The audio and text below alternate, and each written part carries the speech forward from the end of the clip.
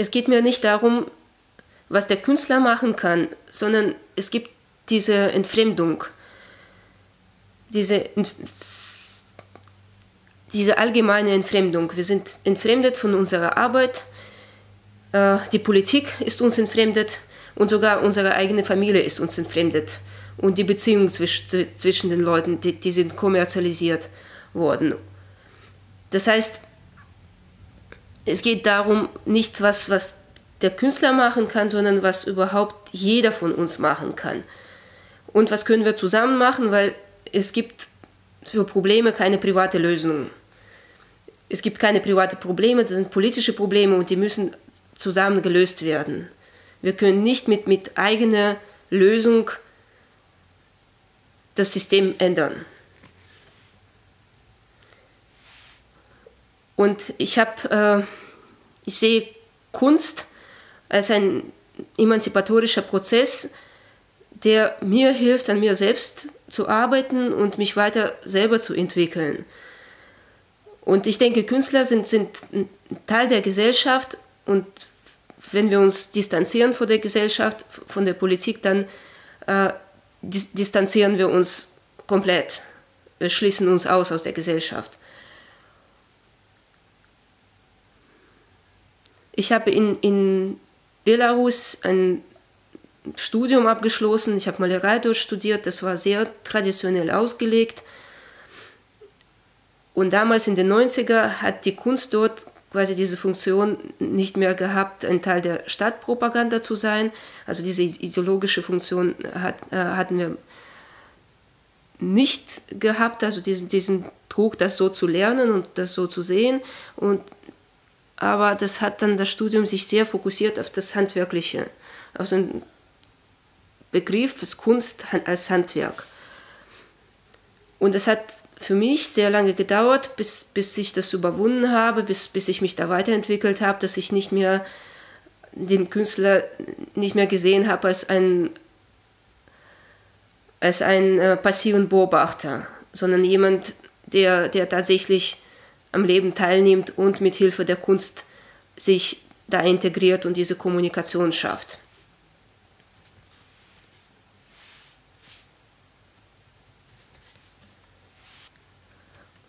Und natürlich will man nicht nur Kunst haben, die, die so quasi so diese reflexive, kritische äh, Funktion hat, aber auch die Kunst, die auch hilft, diese schwierigen Stellen zu, zu überwinden und, und tatsächlich was, was, was, was schafft. Nicht nur quasi an, an dem System dran bleibt, um, um, um die Kritik auszuüben, sondern zeigt also, was sind die schwierigen Stellen der Gesellschaft und wie können wir es tatsächlich lösen. Deswegen wendet sich der Künstler, also der Künstler kann sich nur, nicht nur an, an die Kunstgemeinschaft wenden, an die Leute, die diese Logik der, der, der Kunst verstehen, sondern wir als Künstler wenden uns an die äh, Gesellschaft, an die verschiedenen sozialen Gruppen, auch an, an die politische Strukturen. Also da kommen wir daran nicht vorbei. Und was für mich irgendwie sehr ähm, inspirierend war, ich ähm, ich habe ein Videointerview gesehen äh, über die ähm, Frauen in Belarus, die in dieser äh, politische Arbeit involviert sind. Viele davon sind, haben sich in der Situation finden müssen, weil eben die, die Söhne oder die ähm, Ehemänner verhaftet wurden und natürlich also waren sie erstmal nicht aus eigenem Willen in, in der Bewegung drin und mussten sich damit auseinandersetzen und, und, und für die ist es natürlich eine, eine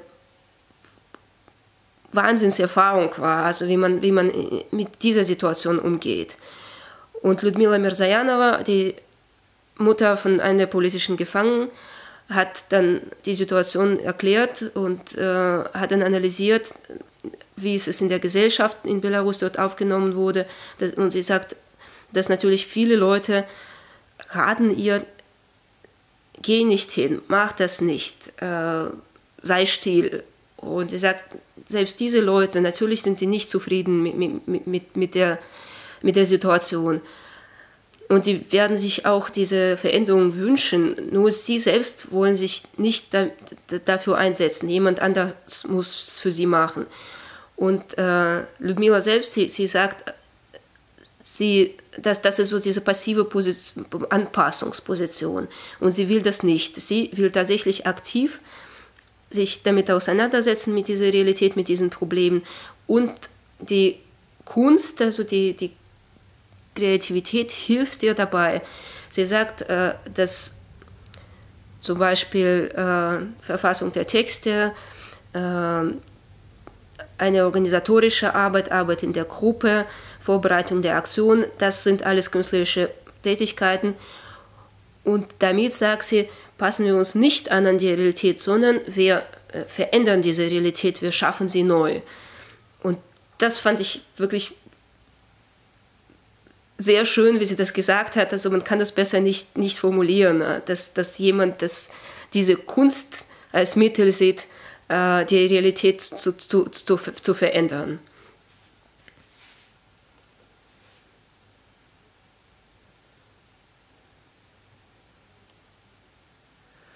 Und ich denke, was auch wichtig ist für, für, für, für, für Kunst, für Kultur, also die, diese progressive Kultur, die hatte, die, die, die muss immer eigene politische Agenda haben. Denn wir, wenn wir es nicht haben, werden wir sehr schnell instrumentalisiert von den herrschenden Machtstrukturen.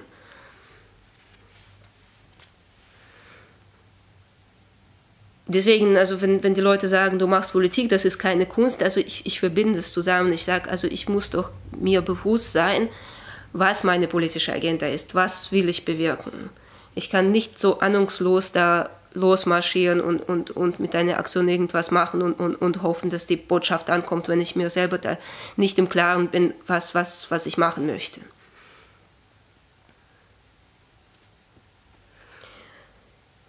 Äh, ich bin nach Deutschland zum, zum Studium gekommen und äh, besonders in den letzten Jahren wurde ich oft gefragt, äh, über die Situation in Belarus zu reden bei den verschiedenen Veranstaltungen. Und ich finde es immer als sehr schwierige Aufgabe. Von einer Seite will ich immer über die Situation, über schwere politische Lage in Belarus will ich berichten. Also fühle ich mich verpflichtet, über die politische Gefangenen zu reden, über die, diese Unmöglichkeit in diesem Land jetzt zurzeit eigene Rechte zu verteidigen. Und ich möchte auch immer klar machen, dass wir heutzutage nicht über einen Staat Belarus reden können, über eine demokratische Republik Belarus, weil es gibt es nicht. Es gibt keine unabhängige Institutionen. Es gibt eine klare Machtvertikale und von dieser Machtvertikale profitieren sehr wenige Leute. Das ist es, was wir haben. Also wir können nicht über einen Staat reden. Und indem ich das so erzähle, immer verstehe ich auch, das, was damit passiert. Also wenn man es hier im Westen darüber berichtet, dann distanziert man Belarus noch weiter von, von, von, von anderen Ländern. Und wenn man irgendwie über die Verantwortung den, den, den westlichen Demokratien spricht äh, und kritische Anmerkungen macht, das ist nicht, oft nicht willkommen bei solchen Veranstaltungen. Und für mich ist es ja ganz klar, dass das die Zusammenhänge hat und dass, das, dass wir nicht über zwei Systeme reden. Hier von einer Seite eine böse Diktatur und von der anderen Seite eine gute Demokratie. Sondern das, das sitzt so, dass das seit 18 Jahren autoritär regierte Belarus doch für Politik und Wirtschaft in Europa kein großes Problem ist. Und oft ein, ein, ein ist in, in, Partnerschaften einbezogen, in, in, in Geschäfte auf der EU-Ebene und das, das funktioniert seit, seit, seit Jahren wohl gut. Und ich, wenn man das System analysiert, sieht man, dass das natürlich also diese nationale, dieses ähm, Entwicklung im Rahmen der Nationalstaat und gleichzeitig im, im Rahmen der kapitalistischen System nicht gleichzeitig verläuft für, für alle Länder. Es gibt eine, diese, dieser Mehrwert nicht gleichzeitig, äh, gleichmäßig verteilt unter den Ländern und sie werden auch nicht gleichmäßig verteilt unter den Klassen, unter verschiedenen sozialen Gruppen und es verändert sich da nicht. Also das heißt, grob gesagt, die Reichen bleiben reich und die, die Armen bleiben arm. Und so ist es auch mit den Ländern. Und deswegen sehe ich das auch so, dass diese Stabilität, die hier die bestimmte Gruppen im Westen haben, diese Stabilität ruht auf den Kosten der, der anderen Leute in, in, in diesen wenig entwickelten Ländern. Und am Beispiel Belarus kann man das ganz, ganz gut mitverfolgen. Und wenn diese neue, wenn seit der Zeit, wo EU sich etabliert hat, haben sich auch neue, sind neue Grenzen entstanden. Und wieder ich als Belarusin brauche eine Erlaubnis, um zu, zu reisen. Und zu SSR-Zeiten war das auch nicht, nicht anders. Nur jetzt ist diese, diese Grenze quasi von, von der Seite der guten Demokraten aufgestellt. Und da fragt man sich natürlich, äh, also was, was ist da in der Situation anders, was, was ist da, da besser? Wir, wir sind wieder ausgeschlossen. Ist das auch eine gemütliche Situation für, für EU-Regierungen, weil natürlich, wer, wer kommt aus Belarus raus? Das sind so die, die, die jungen Leute, die studieren möchten oder die, die Reichen, die, die quasi ein Kapital haben und hier irgendwie im Westen investieren möchten, die kriegen ein, eine Möglichkeit, äh, sich zu bewegen und in die EU-Länder zu kommen. Aber die, die Mehrheit, also die, die, die, die älteren Frauen, die Rentner, äh, Frauen mit Kindern, die bleiben dort quasi eingesperrt in dem Land. Und dass, dass, dass wir immer also die, diese ähm, problematische Stellen in, in, in, in dem System äh, zustopfen mit unseren eigenen Kräften. Und wir müssen immer so diese, diese Situation ausgleichen. Und das System dabei bleibt bestehen. Zum Beispiel also die Situation mit Migration, mit der mit den Migrantenarbeit. Das, das hilft quasi an beiden Stellen, äh, diese Wirtschaftssysteme auszugleichen. Wenn die, zum Beispiel ich als, als Grundstudentin, die hier in, in, in, nach Deutschland gekommen ist und keine spezielle Fachkenntnisse hatte, habe ich in deutschen Haus, äh, Haushalten äh, ausgeholfen, also mit auf die Kinder aufgepasst, geputzt. Das heißt, die, diese Arbeit ist hier auch sehr willkommen. Die Frauen, die hier in Deutschland, deutsche Frauen, die selber von der Diskriminierung leiden und sich irgendwie Kinderküche und Karriere nicht leisten können, sind angewiesen auf diese Hilfe von aus, diese billige, wenig äh, gering bezahlte Hilfe der, der, der, der, der Migrantinnen. Da, da, sieht man das genau, dass, dass man quasi also das private Problem löst für sich und dann doch irgendwie, also das, das ganze System bleibt dabei bestehen.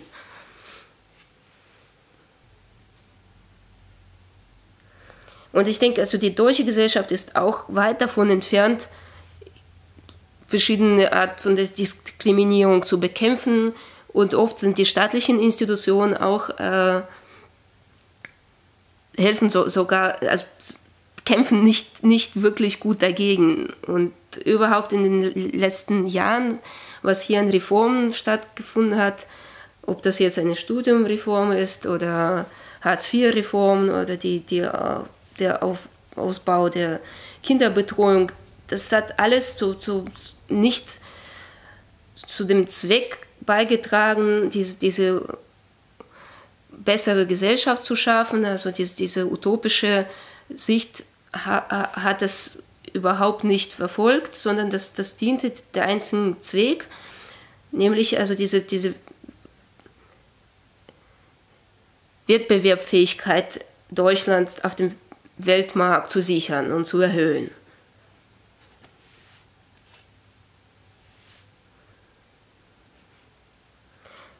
Und ich bewundere immer so die, die, äh, die Aktivisten, weil sie also diese Fähigkeit haben oder dass die einfach an der Ungerechtigkeit nicht vorbeilaufen können. Und wie gesagt, also diese, die, diese Haltung, so sich, sich an, anzupassen, äh, das genau, das, das ist nicht deren Modell. Und ich bin sehr, sehr, sehr, sehr, sehr oft in, in Kontakt gekommen mit verschiedenen Aktivisten in den letzten Jahren und äh, zum Beispiel die Nina Lesniewska, äh, eine junge Aktivistin, hat nachdem äh, bei ihr zu Hause eine Hausdurchsuchung stattgefunden hat und nachdem wurde sie in die Polizeistation geführt und ein, ein, ein, äh, ein Prozess wurde gegen sie angeleitet. Sie hat dann gesagt, dass sie sich oft in Belarus fühlt wie ein Märchenland, wo quasi Leute jederzeit bestraft werden können. Die können die eigenen Rechte nicht verteidigen, die leben Angst. Und sie sagt, dass sie nicht erwarten kann, bis die Leute nicht nur verstehen, sondern auch irgendwann mal darüber laut reden können werden, dass der König nackt ist. Und ich denke, das ist nicht nur für belarussische Gesellschaft charakterisch, sondern allgemein. Das ist, sind jetzt sehr viele Institutionen geschaffen worden, staatliche Institutionen geschaffen worden. Und wir können die, so wie die sind, abschaffen.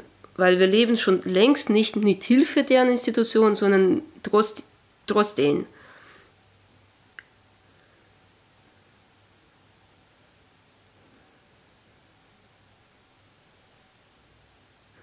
Und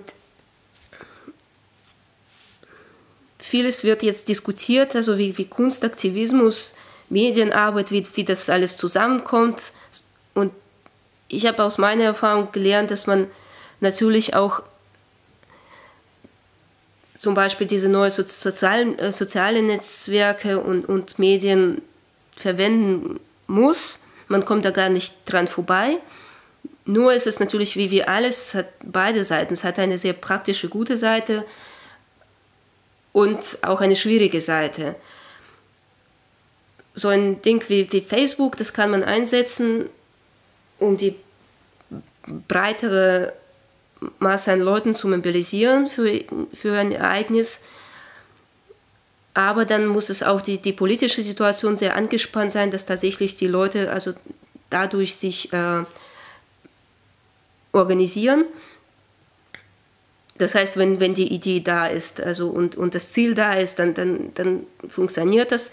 Sonst ist es sch schlecht, weil das, also die, die, die, diese Salondebatte, die, die, die, die dann auf Facebook geführt werden, die tragen nicht tatsächlich äh, zu, zur Mobilisierung statt, sondern die nehmen sogar dieses Protestpotenzial weg. Und natürlich Thema Sicherheit dort ist ein, ein klares Problem, weil sobald wir, wir irgendwas dort posten, spielen wir mit, mit offenen Karten. Und deswegen eine strenge äh, organisatorische Arbeit, politische Arbeit kann dort nicht geführt werden. Und so ist es mit den Medien auch. Man, kann, man weiß schon, dass man mit, mit, mit meinen Medienereignissen sehr viele Leute erreichen kann. Also es, es wird ein Hype, es wird eine also unglaubliche Schnelligkeit in der Verbreitung der, der, äh, der Botschaften. Die Botschaften werden dann oft sehr flach gemacht, sehr einfach gemacht und dass natürlich dieser Medienhype dann sofort weg ist in, in, in sehr kurzer Zeit. Damit muss man wissen, rechnen. Und ich denke, selbst da ist es so, dass, dass oft ein paar Leute äh, hängen bleiben, die, mit denen man dann doch weiterarbeiten kann. Also man, man kommt schon an, an, an neue Kontakte, die man sonst nicht hätte. Und auf der Straße, also die, die Arbeit auf der Straße quasi, wenn wir Aktionen machen, Flyer verteilen, das ist was anderes. Man kann natürlich nicht viele Leute erreichen damit, aber trotzdem die, die, die Leute, mit denen wir sprechen, mit denen wir uns austauschen, das, da ist sehr, sehr viel passiert. Da ist, äh, das kann man nicht vergleichen, ob jemand äh, quasi über diese, diese Situation im Internet was gelesen hat oder hat davon berichtet erfahren, also von, von, von den Aktivisten auf der Straße und sich dafür interessiert. das ist wie, wie mit Küchengesprächen, sogar die sind irgendwie äh, viel, viel äh, praktischer und viel, also lohnen sich mehr, weil das ist auch nicht das Gleiche, ob man jetzt auf, auf äh, in sozialen Medien die Botschaften austauscht, sondern man hat den persönlichen Kontakt, äh, man hat eine, eine persönliche Bindung, man streitet sich, das, das, das sind, das sind so körperliche und emotionale Sachen dabei. Das, das kann tatsächlich also auch zu dieser Mobilisierung beitragen. I think it is funny to just go on protests and it's useless. It, it is not, that is not the case. We did this by protesting. He killed a lot of us, but that was the price of our revolution, the Jasmine Revolution. We did it and you can do it.